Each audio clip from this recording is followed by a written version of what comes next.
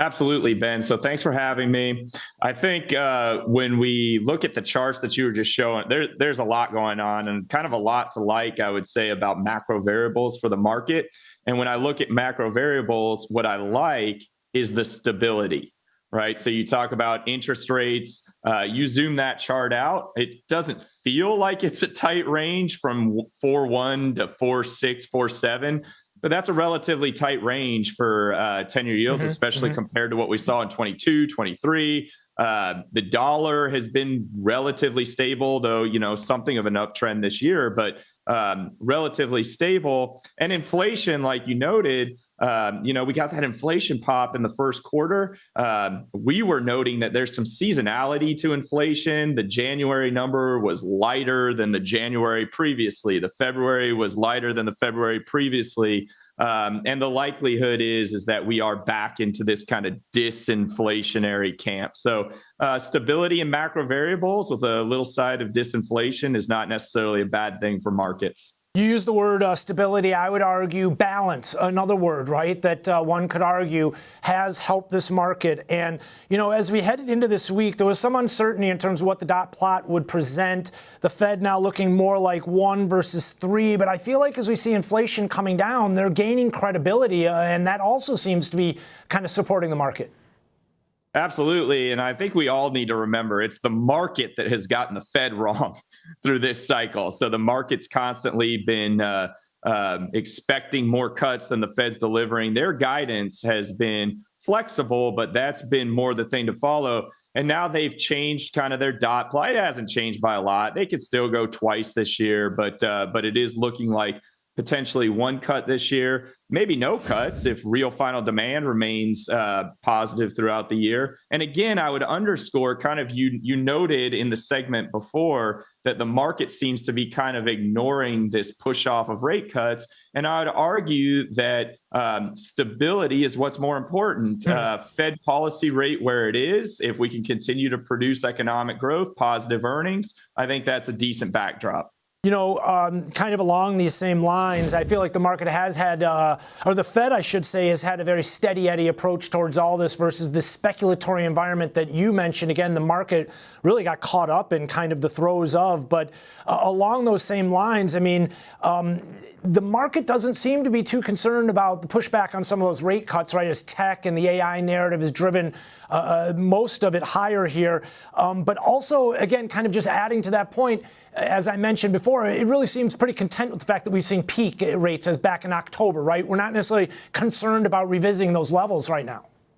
Absolutely. I think that's one of the most important points we can make is if the last hike is in, which seems to be the case, that tends to mean that the peak in longer term yeah. rates is in.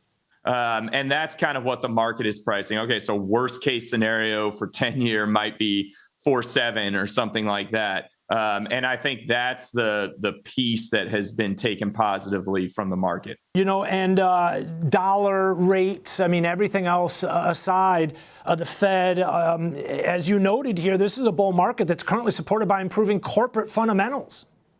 Absolutely. Look, uh, valuations are stretched. I don't think anybody's going to come on your show and say valuations look cheap. Um, valuations are stretched, but that's not abnormal at this stage of the cycle. What you need to see, though, is the baton needs to be passed from higher valuations to improving funda- right. fundamentals. And that seems to be the case. So I mentioned all that stability in the macroeconomic uh, variables. That is also helpful for um, profit growth uh, for for corporations, and that's what we kind of see through the back end of this year is a bull market that is supported by improvement in fundamentals rather than uh, valuation expansion. Lastly, just a thought on uh, you know there was some concern associated with the rally that we had seen. Uh, into the end of last year, I feel like associated with Mag 7, beginning of this year, really the focus kind of shifted back over towards AI and this uh, really tech driven rally has, has fueled things. Again, strength in the U.S. economy as well, been a backdrop, which I think has helped support it. But uh, it sounds to me like, again, you want to see a bit more of a broad based kind of participation to really kind of solidify this move at this point. We always want to see broad participation. I mean, among individual stocks, sectors, global markets, we're generally getting that on a global scope right now. Uh, individual sectors are generally moving higher. There's been some cracks in that uh, more recently, but you always want to see a broadening out. Now, look, I mean, I think we need to uh, recognize the difference. A lot of the charts that show that NVIDIA has made up half the gains in the market, you know, I'm kind of uh, making that up, but there's a lot of uh, charts out there where people are arguing that the breadth is not good because of leadership from the mega caps. And we need to separate that out. I mean, when you expect when large cap companies are performing well, yes, they're going to be driving a lot of the return. But we need to look underneath the surface and are the other is the rising tide rising all boats? we have seen some cracks in that lately, Ben, and that's something to watch. But indeed, we want to see a good broad uh, bull market. Tony, with the lion's share of the data behind us in the rearview mirror right now, and you're looking at some of the most recent inflation figures, the Fed decisions, policy uh, decisions globally this week, for that matter, and uh, uh, some of the jobs reports that we've seen uh, last week, most recently non-farm payrolls. Where's your focus as we kind of look and try and gauge when that rate cut eventually does come, and uh, uh, how we're faring in terms of those efforts to tame inflation and make some progress? I think we got to look at the Fed's dual mandate. So you you take a look at the inflation picture. It's going to be a challenge for them to hit their newly revised projection for PCE. And like Chair Powell noted, uh, there's some base effects that are unfavorable coming up into the next readings. I think you need to average something like a 0.16, 0.18 on core PCE for the rest of the year in order to just hit their revised target. So that's going to be a challenge um, through the end of the year on the employment picture, we need to watch and see what's the what's the kind of the continual rebalance of the labor market.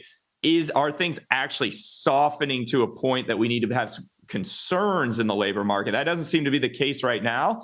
And historically, when when profits are growing, companies aren't conducting mass layoffs. But that's something that we're going to be watching is that health of the labor market. We really do need to um, kind of pay attention to the dual mandate at this point. Investors definitely seem to be focusing on the positive, discounting the negative still. I feel like that's also helped things. Uh, and there's lots of positives to focus on out there as well. Just kind of to your point here, uh, jobless claims this week holding below 250,000, inching up ever so slightly, but that's kind of a psychological threshold, and maybe even more so 300K you know, which is well out there still, uh, well off the out in the horizon here, nowhere near that at this point. So uh, multiple positives again to focus on. Tony, appreciate you sharing part of your Friday with us. It's